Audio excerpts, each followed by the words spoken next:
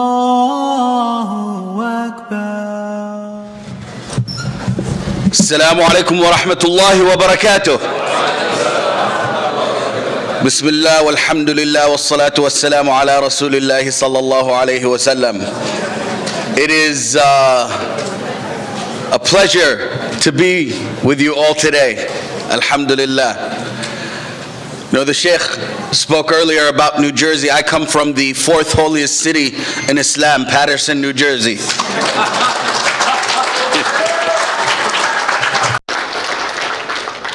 When we talk about this idea of identity as a Muslim, for us as American Muslims, it's a little unique. It's a little unique because since 2000, since 2001, since 9 11, they have been trying to tell us who we are. Our government, think tanks across the country have spent millions of dollars trying to tell us who the good Muslims are, who the Muslims are supposed to be. And they've gotten to the point where they've attempted to dilute some of our core values.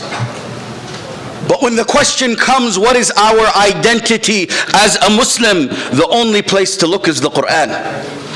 When we look at the Quran and the, the brother recited earlier, the ayah, when he said, "O you who have, O you who have believed, be persistently standing firm in justice."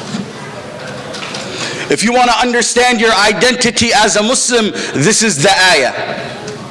That we stand for justice no matter who it is for or who it is against. That is our role as Muslims. But as American Muslims, there's an added level to that. And that comes from our privilege.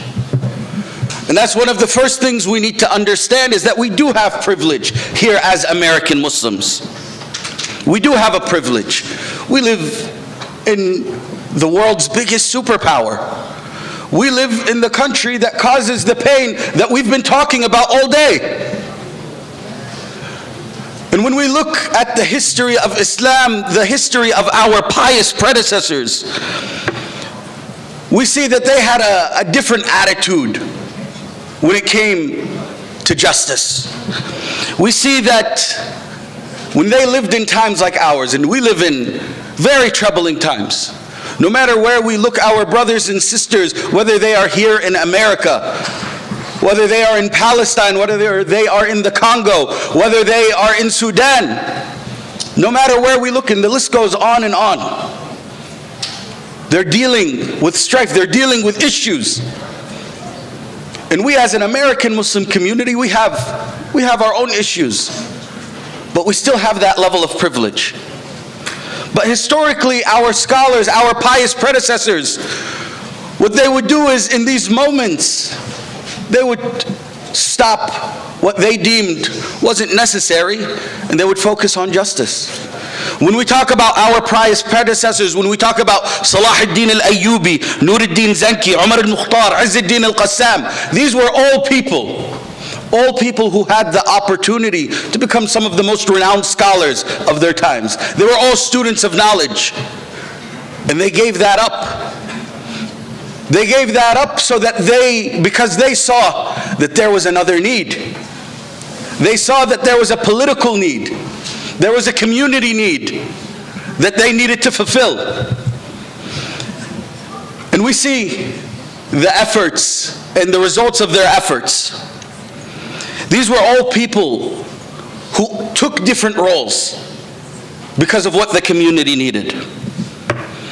And we as a community now, as an American Muslim community, when we see these issues, we shouldn't be saying, I don't want to work with these people. I don't want to work with other people. No, we should be saying we should be leading these movements.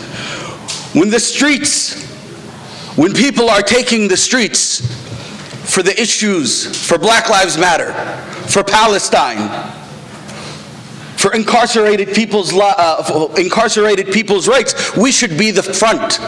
We should be at the forefront of these movements. And historically, we as American Muslims have been in the civil rights movement. The greatest leader The greatest Muslim American leader at the time was leading this movement. Our brother, Malcolm X, our pious predecessor. When the students encamped and protested against apartheid South Africa, the MSAs were a part of that. The Muslim students were a part of that. They were leading that. Some of our shuyukh here were a part of that. So when we see these issues, we should be thinking to ourselves not, oh, how can I stay away from this? No, we should be thinking to ourselves, how can I be a part of this? How can I lead this?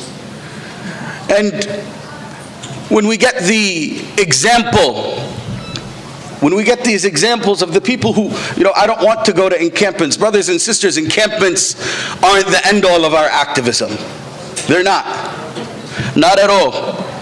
And we as a Muslim community have been leading this work, have been leading this work. This year, the largest protest in the history, in the history of this country for Palestine had 400,000 people. Who did that?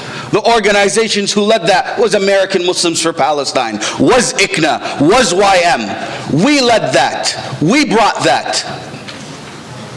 And when we, when we talk about the other efforts that have been taking place in recent months, just a few weeks ago, our community, the U.S. Council of Muslim Organizations, which encompasses all of our community organizations, encompasses all of us, the MAS, the ICNA, the CAIR. All of them were a part of this. 700 people took the Capitol.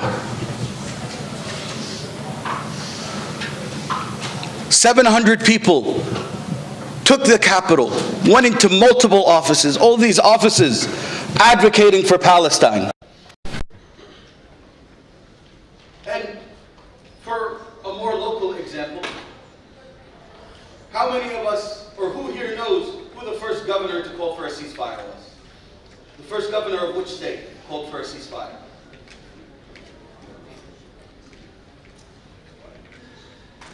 The first governor to call for a ceasefire was Governor Wes Moore of Maryland.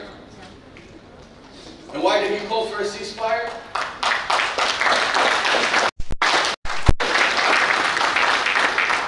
Why did he call for a ceasefire? Because this community, the Baltimore Muslim community, specifically the Islamic Society of Baltimore, when he said, I want to come visit your masjid for Ramadan, they told him, brother, how are you going to come if you haven't called for a ceasefire? The weekend before he came to the masjid, the weekend before he came to the masjid, he called for a ceasefire. And he was the first governor to do so, and after him, they started falling like dominoes. They started falling like dominoes, ya Sheikh. We had the governor of California, the governor of New Jersey. It wasn't, it wasn't where we see the large Muslim populations, not in Illinois, not in New Jersey. No, the first one was here. That's the power our community has. We bring 400,000 people to Washington, D.C. to march for Palestine. We, we bring almost a thousand people to the Capitol to advocate for Palestine. We, we are the ones who force our elected officials to understand to understand that they cannot get away and they will be held accountable for what they do when it comes to Palestine. And we have that power for every other issue we care about, brothers and sisters.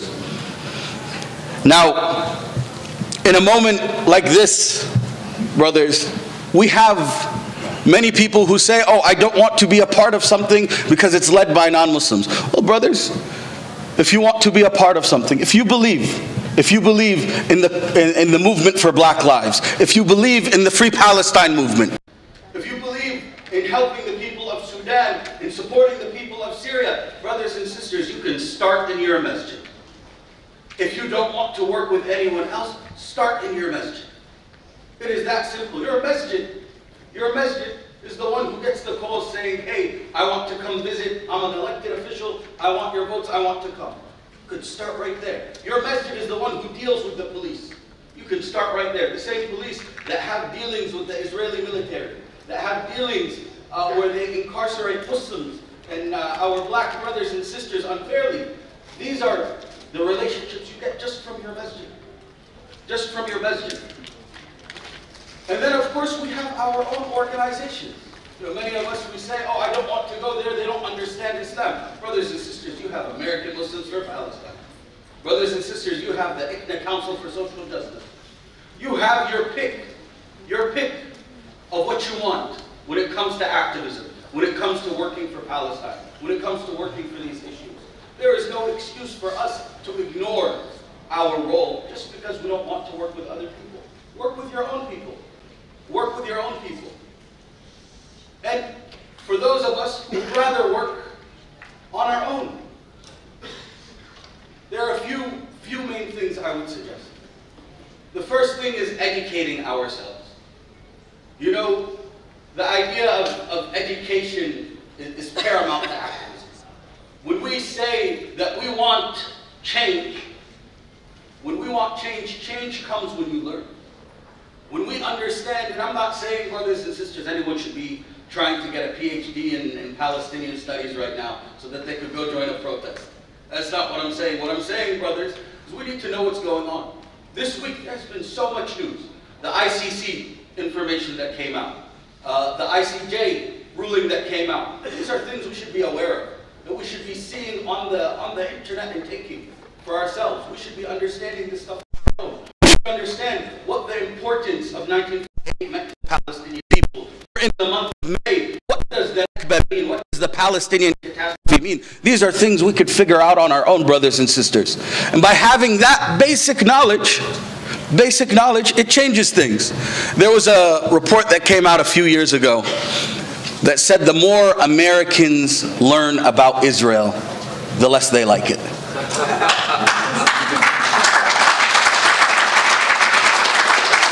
When, when I talk about education, education isn't just so I have some good information to talk about at the halaqah or to talk about when I'm hanging out with my friends later on in the night. No, this information is for us to share with those who don't know. We must let our friends, our families, those who aren't in tune with what's going on know. And that's why social media, that's why they want to close down the TikTok. That's why they want to close down the TikTok because we're sharing this information and we're educating people. It's gotten to the point where where the Israeli, the former Israeli ambassador to America said that he gave up on America's youth. That he gave up on the, not just the broad youth, he gave up on the Jewish youth. Because this education makes a change. And this goes for everything. We need to understand, you know, what role does the police have in my state? What role does, uh, does my governor have in what's going on? And then the next, the next thing, and the most important thing, and we're talking now in an election year. And what I'm saying doesn't require you to vote, but it requires you to understand. And that is to be a conscious constituent. Now, what do I mean by that? We, as American Muslims, have a privilege that many of our brothers and sisters do not have. And that is that our country affects what is going on everywhere else. To put this into perspective, brothers and sisters, you know when October 7th started, I was going around to masajid and I was speaking to communities and the first question I would always get, it would say, brother, why is Saudi Arabia not doing anything? Why is Qatar not doing anything? Why is this country not doing anything? Why, why can't they do something, brother? And I would think to myself, brothers and sisters, if you only understood what role these countries had. Brothers and sisters, these countries, some of the richest countries in the world, pay millions of dollars millions of dollars, tens of millions of dollars to talk to the people that we don't even know represent us. There was a report that came out that there was about $2 million spent lobbying a specific senator. Now this senator, for a fact, has more than 100,000 Muslims in his, in his state. And when we meet with him, we don't have to pay anything. They're paying millions of dollars. Out these countries that we want to do something are paying millions of dollars to meet with the people that we don't even know, that represent us, that are elected to represent us. So the first thing that we need to understand, brothers and sisters, is who represents us? What roles do they have? And some of the biggest communities of this country, whether it's Illinois, New Jersey, they have some of the most important representatives, people who affect change. And many of us in an election year, we think that it's just about Biden and Trump. But that's not how American government works. That's not how American government works. And even if we wanted to ignore the federal part of it, our states, brothers and sisters, our governors have direct relationships with Israel where they do millions, tens of millions, hundreds of millions of dollars in trade. Where we have our own states that have Israeli advisory boards. Over 30 states in the United States have anti-BDS bills that in one way or another try to find a way to criminalize you or stop you from boycotting Israel. These are local issues, brothers and sisters, and these are relationships that we can affect on a local level through our masajid, through our communities, through our communities. And what we have going for us, brothers and sisters, is you know what, we might not be the largest community in the United States, but we are a community that has a lot of effect. Brothers and sisters, us to see the change we want, we need uh, we need to be willing face the hardship. We need to be willing to understand that this isn't going to be easy. Many of the brothers and sisters, they, uh, they tell me, they say that, you know, I, I, can, I can only do this much because I have other priorities. And that's understandable.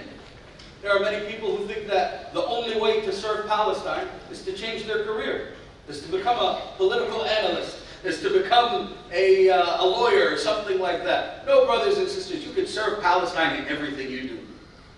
Everyone is capable of serving Palestine in whatever they do. Through our doctors. Through our doctors. Our doctors who have gone to Gaza. Many of them, American doctors, were stuck. And many of these doctors, they're Muslim Americans. Dr. Adam and a few others who I won't name are Muslim American, people who go to our communities, people who pray in our masajid. There are ways to serve Palestine in everything you do. You don't need to change. You don't need to change anything. You don't need to change your career. You could study whatever you want. You could study the political science. You could study law. You could study medicine. You could study uh, art history. Anything you do, brothers and sisters, anything you do, brothers and sisters, can be brought back, back to Palestine. But the main thing to understand is we can't just come and want to support when things are easy. The Quran tells us, the Quran tells us, بعد أعوذ بالله من الشيطان الرجيم أحسب الناس أن يتركوا أن يقولوا آمنا وهم لا يفتنون Quran tells us that the people think that they would be allowed to just say we believe and that they wouldn't be tested. Brothers and sisters, it's not enough to just say free Palestine. It's not enough to just say that we want to see peace for our brothers and sisters in Sudan. We want an end to the genocide in the Congo. It's not enough to do that, brothers and sisters. We will be tested on it. We will be tested on it. And in these moments, brothers and sisters, we are facing some of the hardest tests that our community can deal with. But in these moments, we think about the teachings of our Prophet and the teachings of the Quran.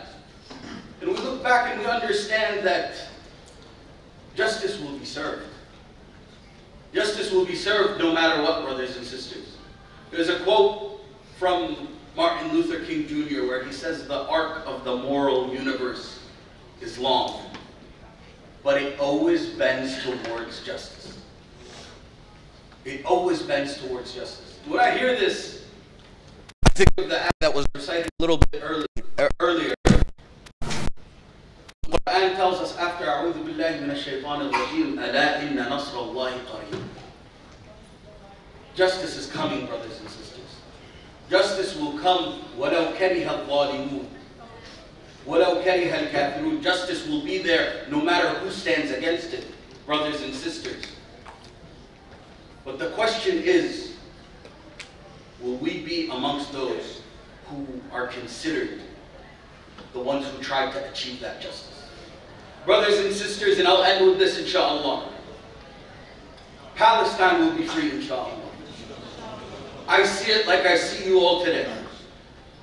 But the question is, brothers and sisters, when we answer to Allah about the genocide that we saw for the past eight months now, when we answer to Allah for what they have done to Masjid al-Aqsa, for what they are doing to our brothers and sisters,